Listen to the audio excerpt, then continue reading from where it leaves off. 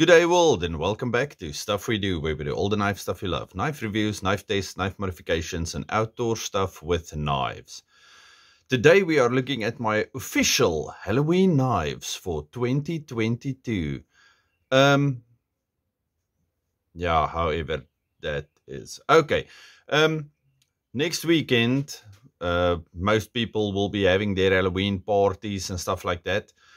Um we are going to have a party with other people, so I'm not sure what that will be or if it will be anything Halloweeny.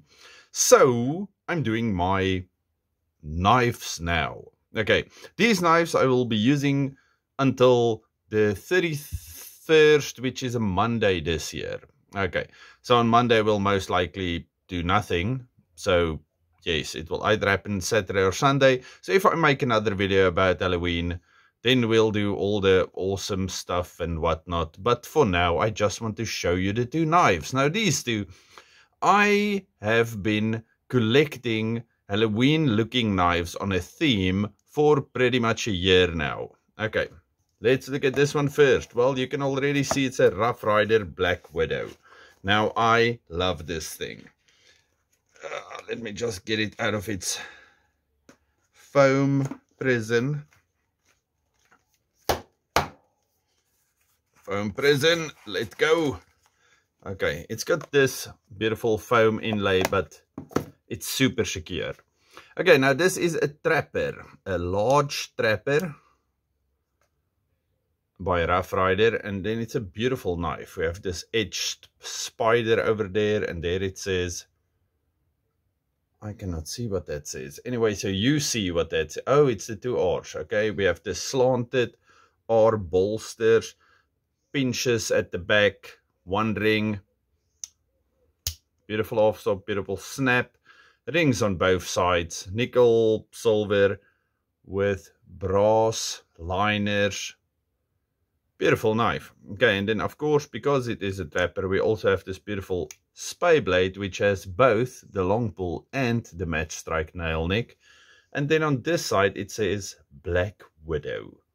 Okay, but the star of the show on this guy is definitely this. Look at the beautiful spider, the black widow over there. And then also the beautiful whatever synthetic with brass inlays and then the black. That's a very good looking knife.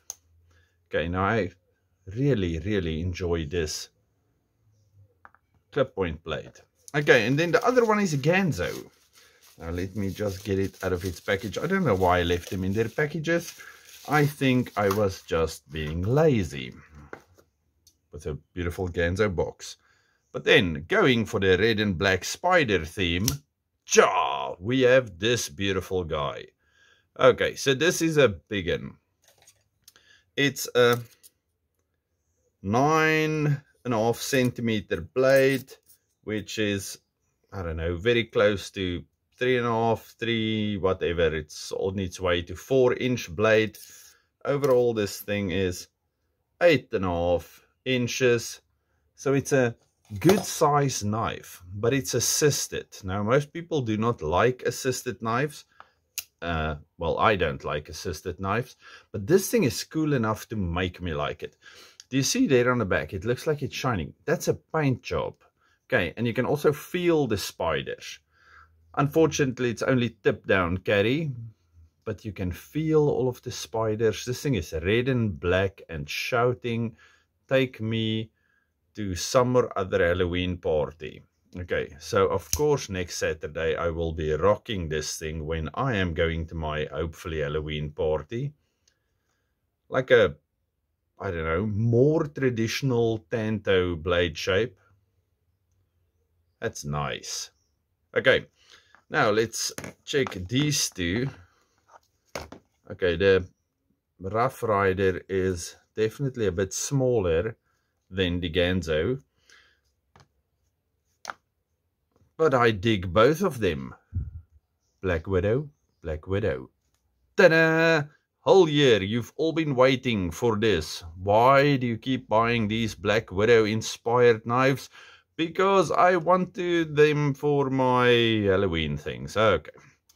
Um, so when we are just chilling, we're going to be playing with that one. And when I go to my more classy Halloween things, I will be playing with this one. Okay. That's ridiculous, I know. But um, I really enjoy, well, trappers. I like trappers. I know a lot of people don't like trappers, but I do like trappers. Trappers are cool. Okay, so I've got my big spy blade over here, which I like most. And then that off stop makes me happy. And then this assisted monster. Ah, that's cool. It's like a lazy auto. Okay, so Black Widow, Black Widow. I hope you all enjoy your Sunday. Um, today was too hot. It's supposed to rain. I hope it rains. Um, we didn't really braai, but I'm going to show you my not really braai. Okay, and then it's going to be week again in a little while. So all of you, enjoy your week. Be productive, do good things, stay safe, happy, and have a good one. Goodbye. Okay, we have the small little braai going. Small little. Um, because we don't really have anything to braai today and we made spaghetti bolognese today so we don't really need to eat anything but braaiing is so much fun. Yeah it looks weird but it will burn now. Small braai big knife. Okay um i don't know what we're gonna do or talk about today. We'll see now okay so what to braai when you don't really have anything to braai or you're not really hungry? Marshmallows of course. And then I'm just going to put this on the fire because old smokehouse. Time honored old smokehouse tradition of smoking imparts a distinctive flavor to these meat products specifically packaged for Shoprite Checkers. And then it's smoked cheese and bacon sausages and it's not expensive. Well you get only five of these things and they're not huge. But yes just something to put on the fire. Okay they're on the fire. And that is looking quite nice.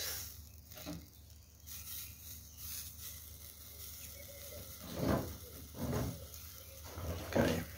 Awesome. Okay and these guys are done they look nice and fat and juicy and awesome so ladies and gentlemen Thank you very much for following along. Oh, and I can say ladies, because I have 13% of my viewers now that's ladies. So if you know a woman, uh, there's a 1 in 10 in 7 billion chance that she's watching this channel. okay, goodbye.